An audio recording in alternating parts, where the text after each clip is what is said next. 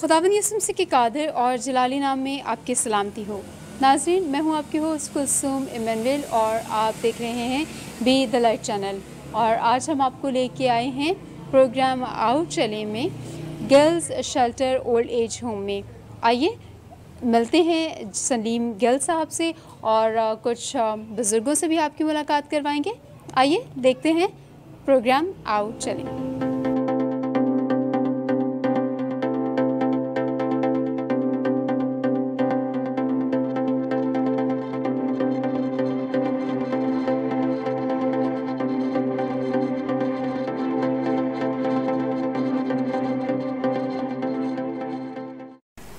Viewers हम अंदर दाखिल हो चुके हैं और आज हम बहुत एक्साइटेड हैं जनाब सलीम गिल साहब से मिलने के लिए जो कि चेयरमैन हैं girls shelter old age home के। और सलीम साहब welcome thank you thank you very much आपका बहुत शुक्रिया आज आपने हमें टाइम दिया। आ, बहुत शुक्रिया बीटीएल का कि आप लोग हमारे पास आए और स्पेशली इंटरव्यू किया ताकि लोग जान सकें अबाउट सीनियर सिटीज़न होम के बारे में हमारी लाइफ के बारे में।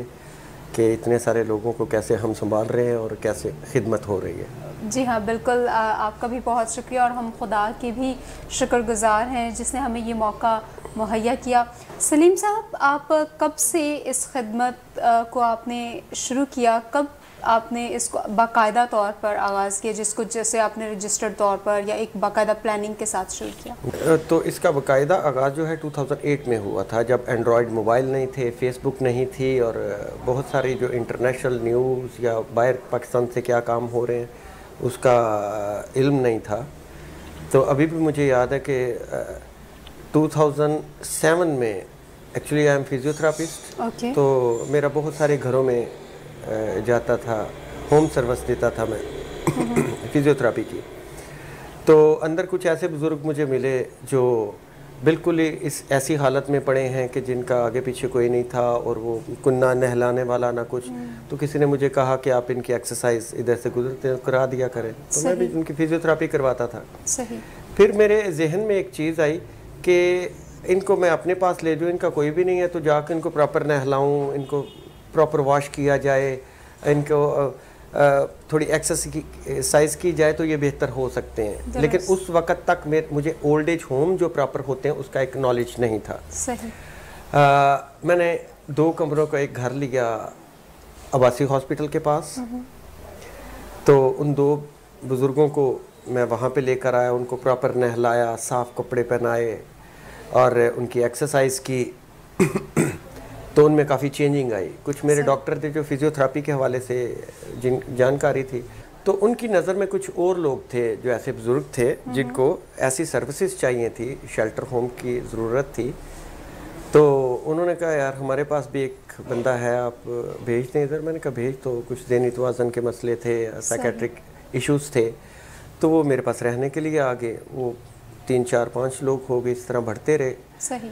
फिर मुझे याद है 2009 में एक साल के बाद एक बंदा मेरे पास आया। उस वक्त हमने लगवाया इंटरनेट लगवाया एक सही। कंप्यूटर रखा। तो उस, हमें नहीं था पता कि ये फेसबुक क्या होती है। एक बंदा आया कहता आपका फेसबुक अकाउंट बना दूँ। मैंने कहा फेसबुक क्या होता है? ओके। वो कहता है जैसे वेबसाइट होती है उस तरह से। मैंने कितना दिन लगते हैं बनने में? उसने कभी फ़ौरन फ़ौरन बन जाएगी। अच्छा। उसने बनाई हमारा वो मेरे नाम से ही बनाई क्योंकि उस टाइम था सिर्फ़ टू 2009 तक लिखा हुआ था गिल्स होम होम बस सही। ये लिखा था ओल्ड एज होम या इन चीज़ों का नहीं पता था। अच्छा अ, सलीम साहब इसका मतलब है कि ये टोटली खदमत के जज्बे से आपने सारी चीज़ें की हैं क्योंकि हम देख रहे हैं व्यूवर्स कि कोई आके इनको फेसबुक के बारे में बता रहा है कोई आके आपको सारी चीज़ें बता रहा है यानी आप किसी को देख कर ये सारी चीज़ें उनसे नहीं आपका अपना जज्बा लोग जानते हैं कि 2008 में लोगों को फेसबुक का पता ही नहीं था। जब हमने ये बनाया तो इसका मतलब हमने उससे कुछ टाइम पहले बनाया पहले था। बनाया। तो इसका नाम भी जो था तो शाहनवाज भाई हैं दुबई में वो जब 2009 के एंड में हमारे पास आए अपनी फैमिली को मिलने के लिए तो मेरे पास भी आए। सही। तो उन्होंने जब शेल्टर होम देखा उन्होंने कहा यार ये तो इस तरह पाकिस्तान से बाहर तो ओल्ड एज होम होते हैं। अच्छा। फिर उसने कहा आपने गिल्स लिखा हुआ है आप ये एक शेल्टर है आप girls shelter old age home करें। ओके। फिर हमने इसका नाम बाकायदा रखा girls shelter old age home जब तक फेसबुक भी बन गई थोड़ी बहुत हाउ टू नो हो भी कि कैसे जो है पाकिस्तान से बाहर काम हो रहा है। जो 2008 से लोग मुझे जानते हैं जो दोस्त जानते हैं मेरे ख्याल में वो हर चीज़ को उनके नॉलेज में ज़्यादा है दूसरे लोगों के कि किस तरह से स्टार्ट किया और कैसे काम किया कितना नॉलेज था उस टाइम मुझमें। देखें खिदमत का एक जज्बा था जो शुरू से शायद हर बंदे के अंदर एक होता है। कुछ लोग वो उस पर काम करते हैं, कुछ लोग वो, उस पर इतनी तवज्जा नहीं देते। तो मुझे बड़ा शुरू से अच्छा लगता था खिदमत करना दूसरों के काम आना। तो शायद खुदावंद ने ये अगर मुझे काम दिया है तो खुदावंद मुझसे ये काम लेना चाहता था। खुदा का शुक्र।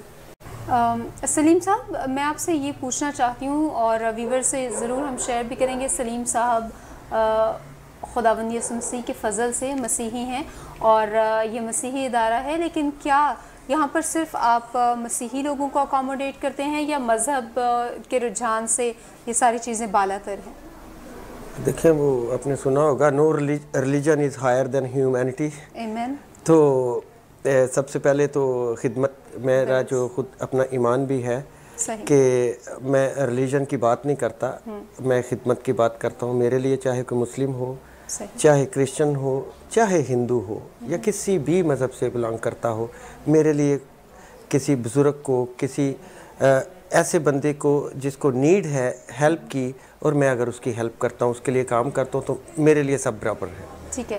क्योंकि सलीम साहब के बारे में मुझे तो ये बात मालूम थी लेकिन मैं चाहती हूँ कि व्यूवर्स की भी इल्म में लाई जाए तो इसलिए हम लोगों ने आपसे ये क्वेश्चन जी थैंक यू वेरी मच क्योंकि मेरे पास टोटली ज़्यादा ऑलमोस्ट मुस्लिम हैं सारे। ओके तो इनको मैंने जान नमाज़ भी दिए हुए हैं पाँच वक्त नमाज़ भी पढ़ते हैं। मसन मसलन किसी किस्म की किसी पे कोई पाबंदी नहीं। रोज़े रमज़ान आता है रोज़े भी रखते हैं सैरी भी होती है अफ्तारी भी होती है। क्रिसमस भी सेलिब्रेट हो रहा होता है ईस्टर भी सेलिब्रेट हो रहा होता है। अगर कोई हिंदू है तो उसके साथ उनके मज़हब के लिहाज से। तो मुझे अच्छा लगता है कि मैं सब रिलीजन्स को बराबर लेकर चल रहा होता हूँ। व्यूवर्स यहाँ पर सलीम गिल साहब के साथ हम मौजूद हैं। Girls shelter old age home में। और यहाँ पर बहुत ही दिलचस्प बातें हो रही हैं। मगर आ, वक्त का तकाजा क्या है कि हम एक छोटी सी ब्रेक लें। मिलते हैं ब्रेक के बाद।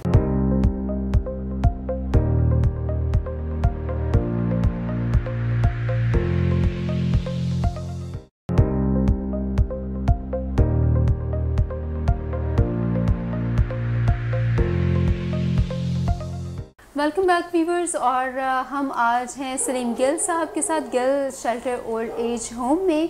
और आप देख रहे हैं बी द लाइव चैनल और हम कंटिन्यू करते हैं सलीम साहब के साथ। सलीम साहब क्वेश्चंस बहुत हैं और बड़ा ये इंटरेस्टिंग प्रोग्राम है हमारा। और बड़ा हम जब मिल रहे थे लोगों से बिहाइंड द कैमरा तो it was pleasure to meet with everyone तो मुझे ये बताइए कि जब यहाँ से जब लोग आपको अप्रोच करते हैं तो उसका प्रोसेस बता दीजिए कि जो लोग बुज़ुर्ग हैं या जो लोग अपने पेरेंट्स को आपके पास भेजना चाहते हैं वो कैसे आपको कांटेक्ट करें? हाँ जी एक्चुअली एक तो हमारा girls shelter old age home जो है आप गूगल पे या फेसबुक पे सर्च करेंगे वो आएगा। ओके अ, हमारा नंबर भी नोट कर सकते हैं zero three two one two five six double five seven four direct phone भी कर सकते हैं। सही। तो इसके अलावा फेसबुक पे कहीं भी आप देख सकते हैं हमारा जो है सर्च कर सकते हैं हमें हमारा एड्रेस हमारा फ़ोन नंबर पूरी डिटेल मिल सकती है वहाँ। सही। व्यूवर्स जब मैं यहाँ पर एंटर हुई थी और हमारी टीम यहाँ पर अंदर दाखिल हुई थी तो हमने जितने भी लोग थे जब उनको देखा तो बड़ा एक फ्रेंडली माहौल था और बड़ा एक खूबसूरत माहौल था बिल्कुल जैसे फैमिली स्टाइल था। तो आ, सलीम साहब आप काइंडली ये बताइए कि जब यहाँ पर लोग आते हैं तो वो किस तरह से उनकी क्या एक्टिविटीज़ होती हैं सारा दिन? वो क्या करते हैं? क्या मसरूफियात होती हैं? कैसे आप उनको एंटरटेन करते हैं? जी इस वक्त मैं आपको बताना चाहूँगा कि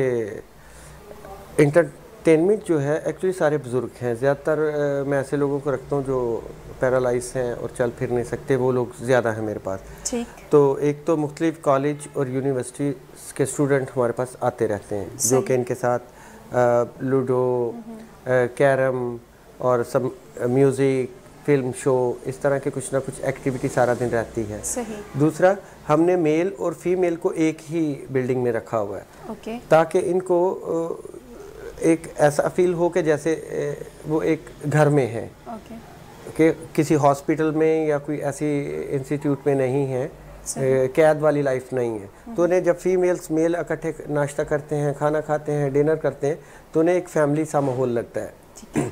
उसके अलावा जैसे म्यूज़िक है सम टाइम हम छोटा छोटा म्यूज़िक प्लान करते हैं उनके साथ। हमारे पास हारमोनियम और ये चीज़ें हमने रखी हुई है। तो हम सबको बिठाते हैं उनके साथ कुछ म्यूज़िक प्ले किया कुछ सिंगिंग की जिससे वो वैसे भी एक तो रूह के लिए भी अच्छा होता है दूसरा स्ट्रेस को भी ख़त्म करता है तो ये चीज़ें बड़ा ज़रूरी हैं। तो वो हमारी कंटिन्यू रहती हैं इस तरह की चीज़ें। ठीक है सही।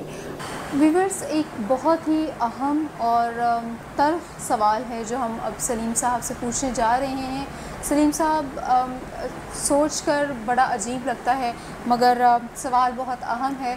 मैं चाहूँगी कि आप इस टॉपिक पर बात करें कि ये जो ओल्ड एज होम्स हैं ये जो शेल्टर होम्स हैं इनके यूजेस और अब्यूज़ पे बात कीजिए कि क्या ये एक पेरेंट्स के नुक़ नज़र से भी इसको देखिए और बच्चों के नुक़ नज़र से भी देखिए कि आया ये फ़ायदा मंद है या इससे कम्युनिटी को माशरे को नुकसान पहुँचा है। दोनों तरह से आप प्लीज़ इस पर कुछ रोशनी अ, डालें। बिल्कुल। जो आपने मुझसे पूछा तो अ, मेरे ख्याल में हम ये कह सकते हैं बड़ा मेजर है जिसको लोगों को जानने की ज़रूरत है इससे ज़्यादा उन्हें नॉलेज मिलेगा। एक्चुअली काफ़ी सारे लोगों ने आपसे पहले मुझसे सवाल किए कि आया ओल्ड एज होम होने चाहिए होने चाहिए या नहीं नहीं कुछ लोगों की थिंकिंग थी कि अगर ओल्ड एज होम ना हो तो सब अपने घरों में हो। ऐसा नहीं है। मैंने जो अपना मेरा एक्सपेरिमेंट है मेरे ख्याल में अभी भी शायद शेल्टर होम कम है होने चाहिए। अ, क्योंकि उसके पीछे वजह ये है कि मैंने जो देखा है ज़्यादातर वो लोग हैं जिनकी शादी हुई औलाद नहीं हुई। ओके या शादी हुई नहीं। ओके ठीक है? तो उनको ज़रूरत होती है शेल्टर की। या नज़दीक का अगर औलाद थी तो वो लाइव नहीं है। डेथ हो चुकी है। तो अभी वो बुज़ुर्ग हैं या बुज़ुर्गा हैं वो घर में अकेली हैं रिश्तेदारों के पास हैं। तो आजकल का तो वक्त है अ, ऐसा नहीं हो सकता कि दूर का या कोई नज़दीक का भी रिश्तेदार हो तो कोई बंदे को पैम्पर लगता है या बेड पे है या मफलूज है चल फिर नहीं सकता तो उनको अपने घर में ले जाएँ। I think it's very difficult कि आजकल कोई किसी के लिए नहीं करता। अगर किसी का सगा बेटा होगा वो तो अपने बाप के लिए अपनी माँ के लिए करेगा। लेकिन दूर का अगर चाचे ताया इन रिश्तों में जाएँ तो सब अपनी लाइफ में बिज़ी हैं। मैंने ऐसे लोग भी देखे।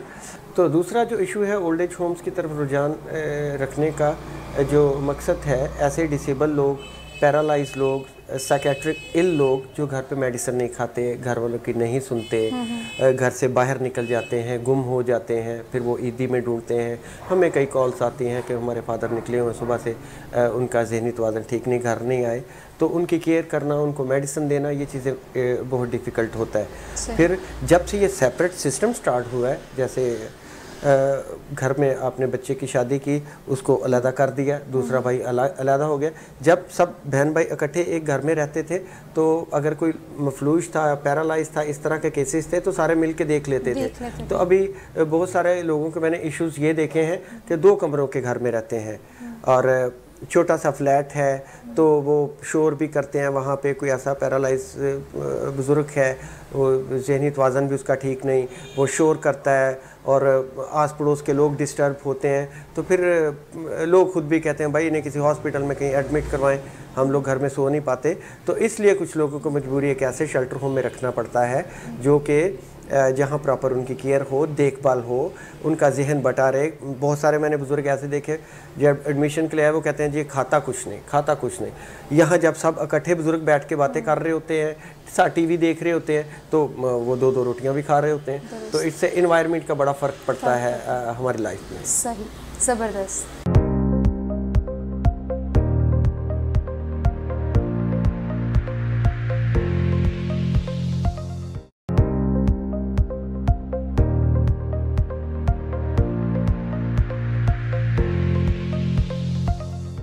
जी वीवर्स हमारे साथ इस वक्त नदीम साहब हैं। आइए इनसे बात करते हैं। अ, नदीम साहब कैसा लगता है आपको जब आप यहाँ पर अ, अ, आते हैं और आपको अच्छा अच्छा ख्याल रखते हैं? हाँ ये लोग अच्छा ख्याल रखते हैं।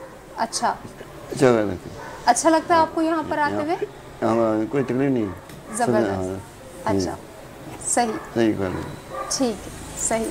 जी वीवर्स और हमारे साथ एक और बुज़ुर्ग मौजूद हैं मगर वो पश्तो समझते हैं और पश्तो मुझे आती नहीं है इसलिए हम सलीम साहब से हेल्प लेंगे। सलीम साहब आप इनसे कुछ थोड़ी छोटी जी मोटी लाला कैसे हैं आप? ठीक है तबीयत कैसी है आपकी? मज़ा आ रहा है? कोई मसला तो नहीं है? नहीं पक्की बात है? तुम हमारे साथी है।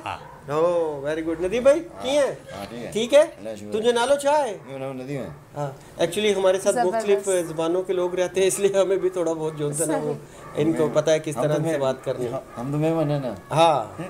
सही ठीक है thank you thank you very much thank you very much thank you कि आप लोग यहाँ पे आए और थोड़ा इंटरटेन किया सबको। Thank you so much Salim साहब आपका बहुत शुक्रिया आपके सारे स्टाफ का बहुत शुक्रिया। Um, हमें बड़ा अच्छा लगा हमारे इट वॉज़ ग्रेट प्लेयर और um, हमारे लिए एक ब्लेसिंग भी थी। Thank you so much God bless you God bless God bless you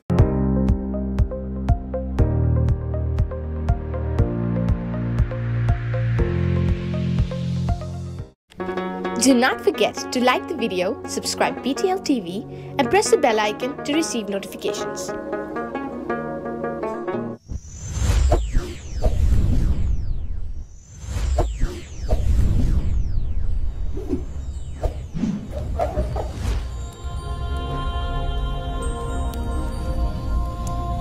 Jesus is the light of the world.